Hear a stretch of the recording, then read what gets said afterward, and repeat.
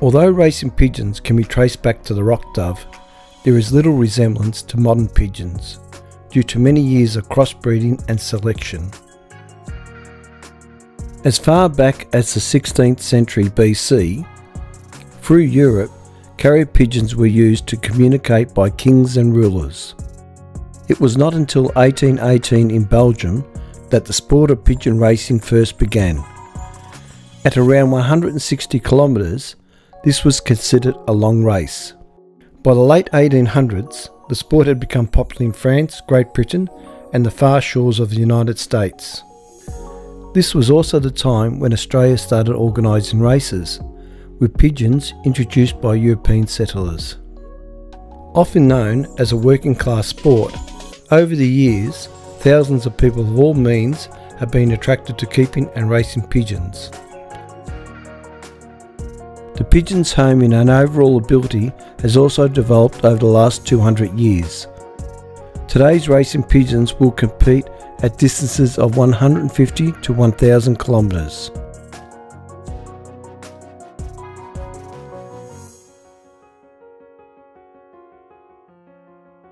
Before we explore the excitement and how-to of racing pigeons, let's reflect on how they save lives.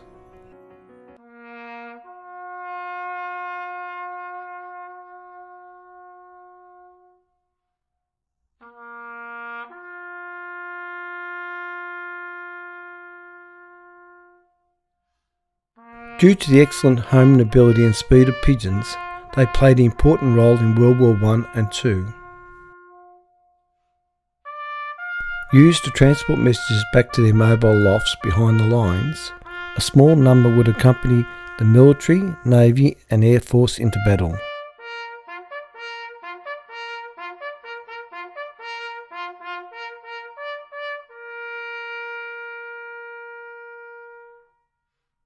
Many lives were saved by pigeons in wars, and many pigeons died saving these lives. Whilst I was visiting the two Dickin Medal recipients in um, Canberra at the Australian War Memorial, um, the curators were kind enough to take out of storage the certificate that they received the medal, and then the two pigeons themselves. And um, they're beautifully preserved. The taxidermy process is an incredible process, and um, their plume is is in pristine condition. So I was, um, you know, very lucky to um, spend the day um, with these two pigeons, and um, you know, having the opportunity to draw them in situ. So we're very grateful to the Australian War Memorial. In October 1942, Catalina, which was a British um, warplane, had hit a wave of horrific weather during a mission under Captain Ted Southern. Now he was forced to ditch into the Atlantic and radio transmission was lost and hence they were the times when carrier pigeons were used. Other communications failed. So the details were written and put into a lead capsule and a group of carrier pigeons were released and they were lost at sea. However, White Vision made it back to base in um, Shetland, Scotland. And she flew battered and she flew 60 miles in gale force winds with no visibility. And she delivered the vital message to the RAF and the location of the Catalina was recovered. 11 lives were actually saved on that particular day, and, um, and she was awarded the Dickin Medal in December um, in 1942.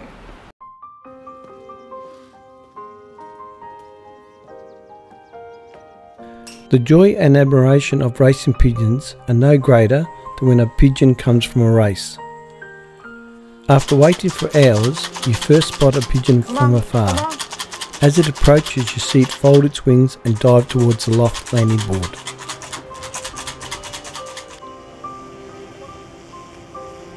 No matter what distance it has flown, your heart beats a little bit faster until the bird has timed in.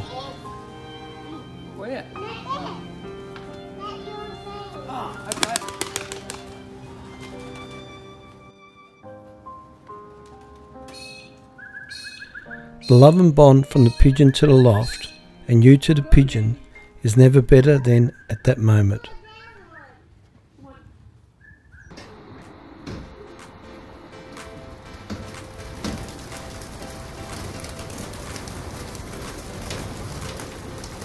Keeping pigeons first starts by building a loft. You can find all types of race lofts, some very modest, others like holiday resorts for pigeons.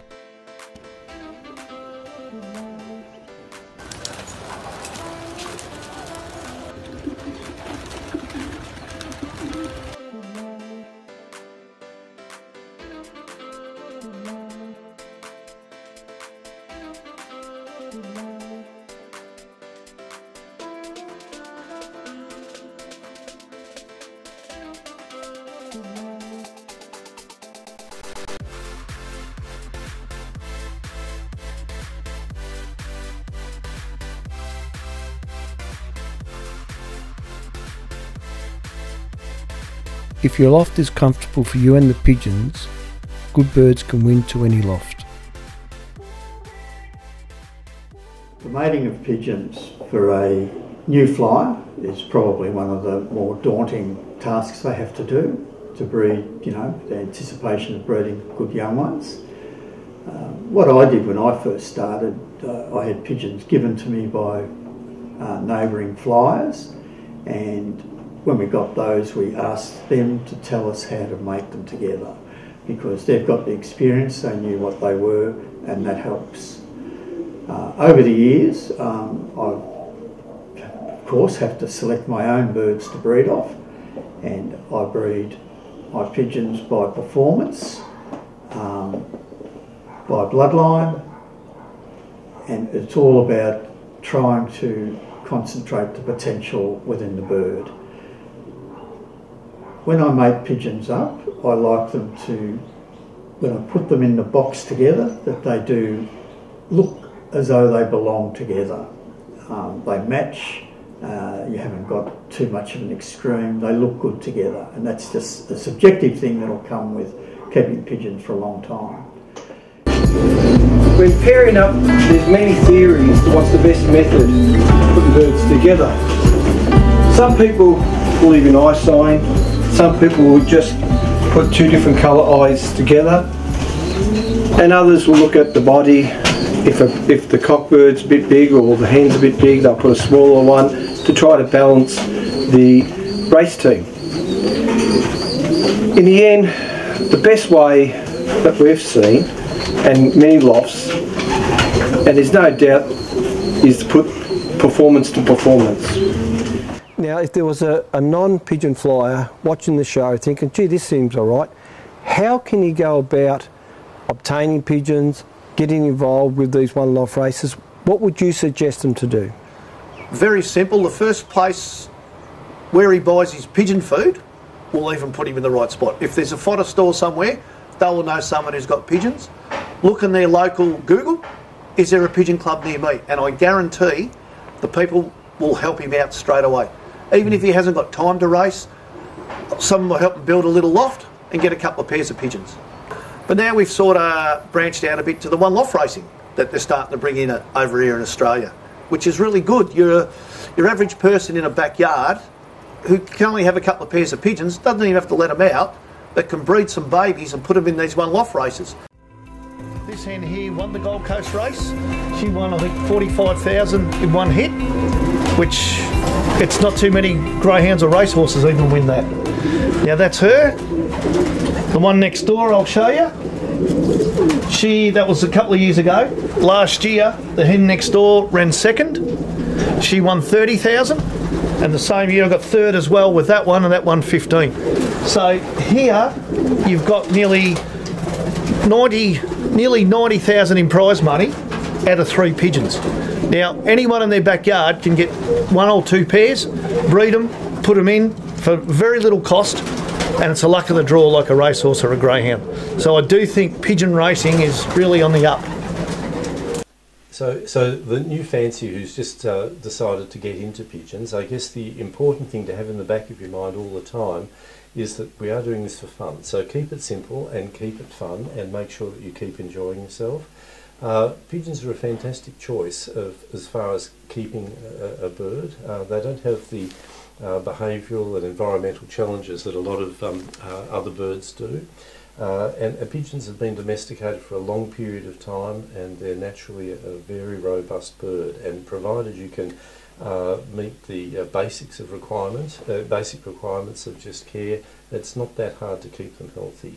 Uh, it's always easier, I think, if you can find someone, an established fancier in your local area, uh, who's had pigeons for some time, and uh, uh, he'll be able to sort of guide you along. Um, uh, an experienced eye is very useful. Um, uh, people who are unfamiliar with uh, pigeons, uh, they often think they all look the same, and yet uh, to an experienced pigeon fancier, they're all very different, and signs that might go subtle signs that might go unnoticed to a less experienced eye can be can be very obvious to them. Uh, so I think a good starting point uh, would be, if possible, to um, uh, try and get in contact with local club and uh, and perhaps someone who lives nearby uh, who races pigeons and can be your mentor. Um, if that's not possible, um, uh, perhaps introduce yourself to a local fancier and try and get some birds from uh, you know, uh, someone who's very familiar with the sport, uh, recognised fancier, uh, and birds that are, are essentially healthy. Uh, These two babies here are getting, they're not ready to wean, but you can see at the age they are, they're starting to reach that stage. They're under their wing, the feathers are starting to burst through. So, you know, they're reaching the point where within a week See, this one's got even more feathers broken under the wing. Which is normally, when they break all those feathers, they're normally hopping down on the floor. These birds have hopped out of the nest box, out of the nest bowl, and are walking around the nest box now. Once all young pigeons have been homed and flying strong around the loft, the fun of preparing the birds for racing begins. This is about six weeks out from the first race. Hello everybody, my name is David Tournel. I've come from uh, Flemish Brabant in Belgium. Uh, I will uh, tell you my system with the young birds. Um, end of May we start with the road training of the young birds and uh, we start very, very short in the beginning. We start at one kilometer the first time. The second, the day after, we go to two kilometer. And uh, so we go up. Third, three kilometer, three kilometer. Then we go to six two times. Then we go to 13 two times. Then we go to 20 two times. Then we go to 30 two times. And then we go to 35 till 40 also two times. And when everything going good, then they are ready go to the first race in the club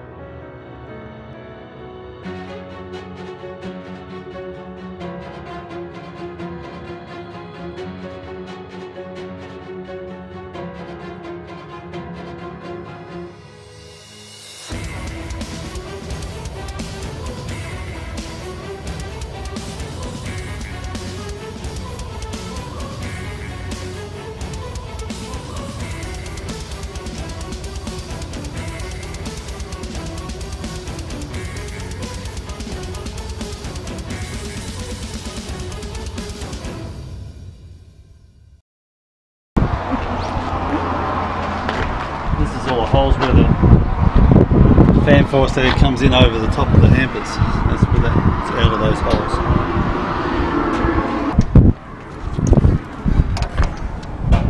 Come on up when the 15 degrees hits in, like the top fans come on as well, as well as those others.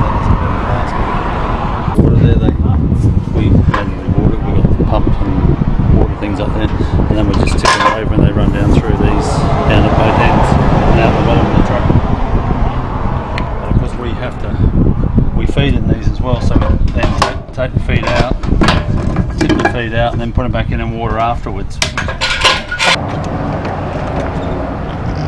Sink and uh, cupboard for food, stove.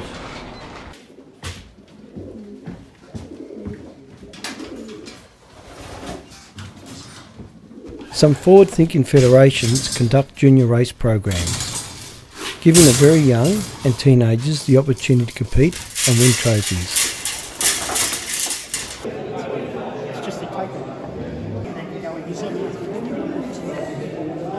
Pigeon racing can also be a family sport where everyone can get involved at different levels of commitment. Also, a sport for a person heading towards retirement and looking for friendship and a hobby from the backyard. Zero one five four, Luba Point. Zero one five four River Point Top.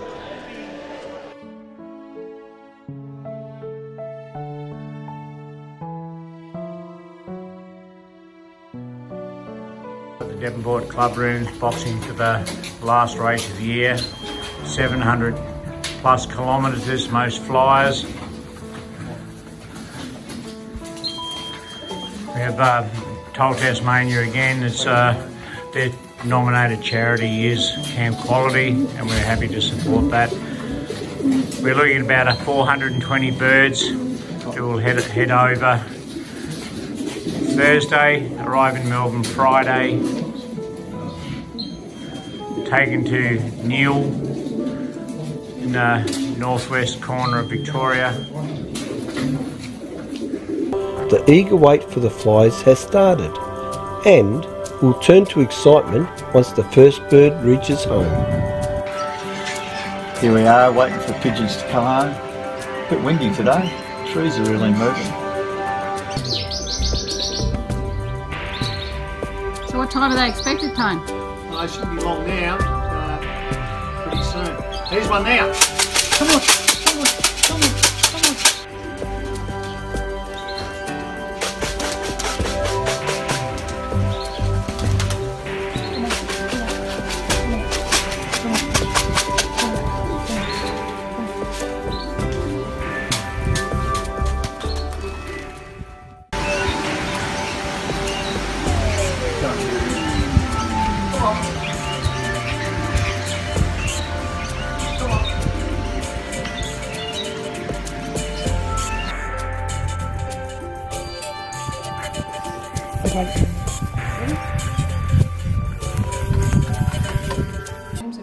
and um, and the fact that they have some, you know, the magnetic thing in their beaks here, and they're able to make it back to home base or to race. I mean, I, I think they're just beautiful, intelligent creatures. Yeah, we're blessed to have them.